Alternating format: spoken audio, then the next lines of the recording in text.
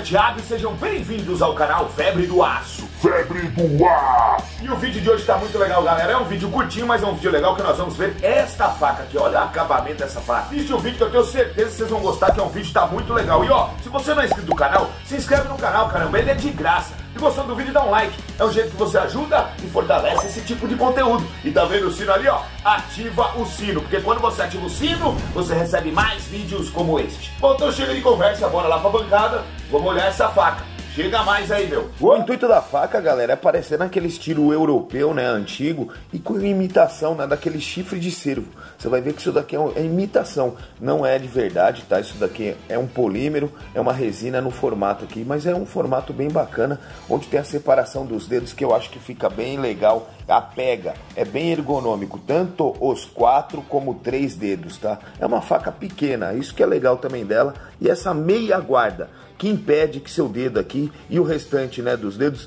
venha para a lâmina e você se machuque. Então é uma faca bem legal. Virando aqui no dorso, ó, você consegue ver que ela é reta, reta mesmo. Então você encontra quinas. Ah, Thiago, isso é ruim? Não, na verdade não. Essas quinas aqui, galera, tem muita faca que não tem, que é arredondada aqui em cima. Isso daí, quando é redondo, impede de você raspar aqui para produzir faísca em pederneiras, por exemplo. Então tem faca que aqui é baloado, é, é redondo, que as pessoas pegam e lixam, limam para deixar reto, tá? A máquina para produzir aqui a faísca da pederneira. Essa daqui já tem esse dorso reto, então você vai conseguir fazer isso. E aqui em cima tem um desbaste, ó, você vê que ela deixa a lâmina mais estreita. Pô, Thiago, isso daí interfere? Não, cara, isso aqui é melhor para perfurar, tá? Facilita também nos cortes, tá? Deixa mais cortante. E para você ver, ó, vamos aproveitar e ver a espessura aqui da lâmina, para não ter erro. Ela tem 3,3 milímetros nessa parte mais mais larga. E aqui, ó, que é mais, mais estreita do desbaste, ó, deixa eu pegar aqui certinho.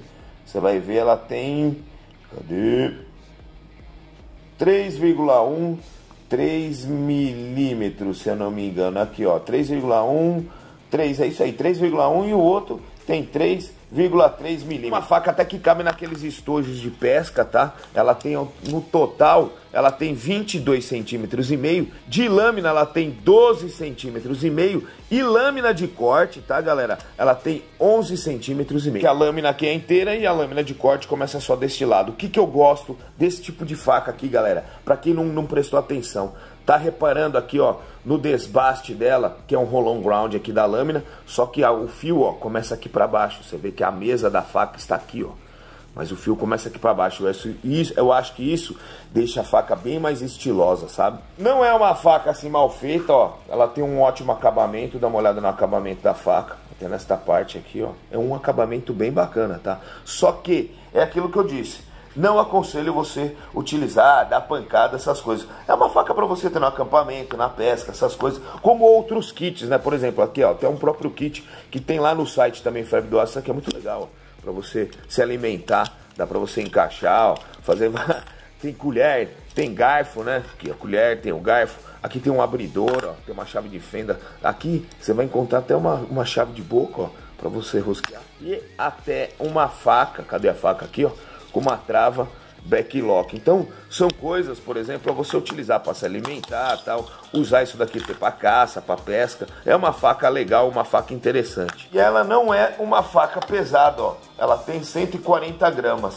Então, é uma faca leve, pequena, com várias funções, principalmente as funções mateiras. Sem contar que eu acho ela muito bonita. Essa daqui, se for uma bainha em couro, nossa senhora, na cinta, quem olhar vai falar, nossa, deixa eu ver se sacar a faca, o cara olhar o perfil da faca vai falar, meu, que bonita, meu. Eu gosto de faca pequena, assim, funcional. Tem faca pequena que é muito doida, tem um formato da lâmina, tudo. E essas facas assim, ó, permite você fazer qualquer atividade ó, na cozinha. Olha o corte dela como é bom. Então para você fazer essas atividades mateiras, ó, você vai tirar ela de letra e não interfere. Ó. Você vê que não, não muda aqui no formato, porque dependendo do formato da lâmina, o fio sai todo torto, né? Essa daqui não, é uma faca bem funcional para esses, esses fins também. Eles que gostam desse tipo de faca, com cabo de imitação de chifre de cervo, veado, essas coisas, cara, se inscreve no canal que você vai ver várias facas de vários modelos. Então não vacila, se inscreve aqui no canal. Não vacila não, cara, que esse canal aqui é da hora e só fala sobre lâminas, canivetes e muito mais. E muito bem, chegamos ao fim, espero que vocês tenham gostado. E aí, gostou? Caramba, Thiago, que faca legal, Thiago. Estilo europeu, né, meu? Tem um cabo, parece cabo de chifre, né? Parece, né, galera? É uma imitação bem legal. Se você gostou do vídeo, dá um like. Sério mesmo, é um jeito que você ajuda e fortalece esse canal, cara. E ó, lembra do sino, tá vendo o sino ali, ó? Ativa o sino. Quando você ativa o sino, você recebe mais vídeos como esse. E outra, você não precisa ficar triste que acabou. Porque vai aparecer aqui, ó, vários cards. É só você clicar em um deles e continuar assistindo o canal Fêmea do Aço, tá bom? Então beijo no coração, fica com Deus e ó. Até a próxima!